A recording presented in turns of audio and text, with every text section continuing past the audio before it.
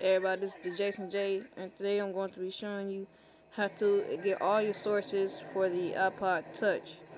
Alright, so now uh, what you want to do is you want to open up Cydia, and you just want to go to Manage, Sources, go to Edit, and then Add. Alright, so then we're just going to type in we're gonna type in A P T dot S oops, S T E F oops, F F W I Z E and then dot com. Yes. Just like that. It's apt.steffwiz.com. Um, you can't see it that good, but it be in the description. Alright, so then just push add source. I'm not going to add a source because I already have it.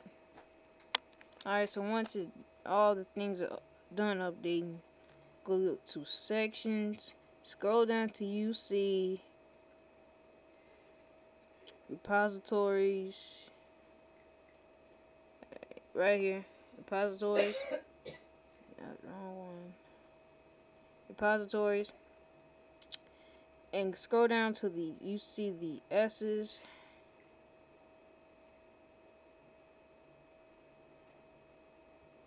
And install SteffWiz which is right there. I already have installed. Steph Wiz. S T E F F W I Z E. SteffWiz. Once you have that installed, go back to repositories. Scroll up till you see the A's and install all sources. Alright, so now once you have all the sources installed, then you're done. Then you have all this stuff. You have all this. Oops.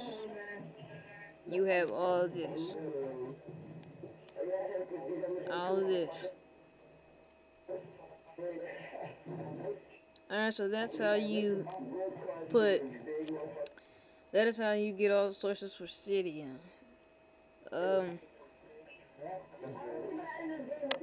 if you watch my other video, I'll be showing I show showing people how to get uh, their letters read, and this is a video for them too to how to install all the sources. I had it in my description, but I, I want to make a video about it. So um, see you guys later. This is Jayson J, and I'll see you later.